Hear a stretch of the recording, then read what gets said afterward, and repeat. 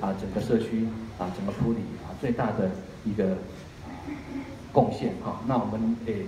啊针对啊社会的各种不同的议题，我们也有我们自己的啊一些社会的这个参与啊。那从啊这个是两年前的啊大家啊在反核的这个过程里面，我们办的这个啊反核的这个插画展，然后我们也在这个过程里面啊虽然年轻人投入。这个重建的工作哈，那我们也没有忘掉啊社区的长辈哈，我们在十一年前就开始啊这个有一个这个不呃这个陶米的长青绘画班哈，就把这个社区的长辈们啊邀来大家来共同来画画哈。那早上大家去长青村，我想有很多的感触，但是我想我们啊在这样的一个社区里面，我们有我们自己的一些方法，就是让这些还可以有能力有出来啊可以出来的这些。啊，长辈们，他们有一个共同的时间、共同的空间。十一年来，他们画了非常多的作品。我们每年呢，啊，都为这些阿妈们啊举办啊这个大型的这个展览。那前几天啊，他们才去那个啊这个这个台南哈啊展出哈。那在这个过程里面，我们累积的这些作品，我们希望在今年可以帮这些阿妈们完成数位的典藏，还有书的这个出版。那另外，我们让这些阿妈们可以。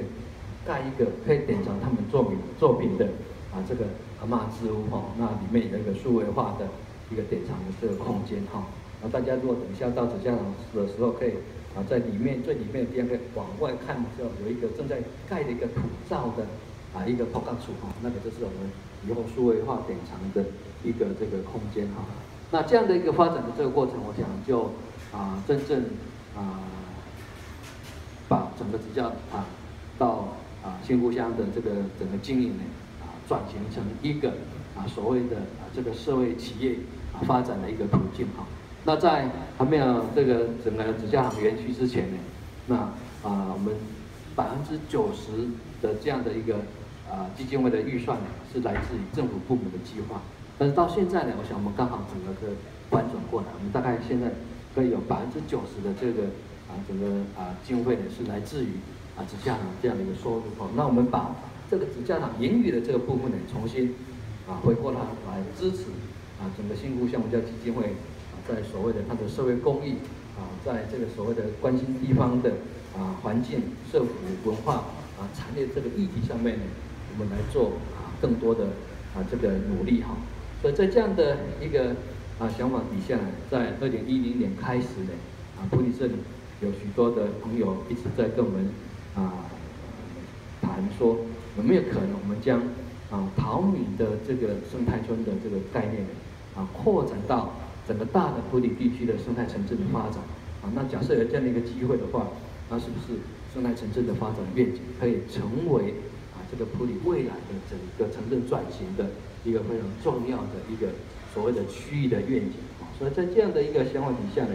后来我们又找到了这个蝴蝶的元素啊。那为什么会找到蝴蝶元素呢？我们啊从过去的历史可以知道呢，尤其是在啊一九六零到一九七五年这段时间呢，啊全台湾啊有这个一年哈，因为把蝴蝶啊做成各种不同的啊标本啊、工艺品啊，或者是蝴蝶的贴画，这个这样的加工品啊外销到全世界呢，一年大概要用的啊两千多万只以上的蝴蝶。啊，它的这些漂亮的这个翅膀，所以那。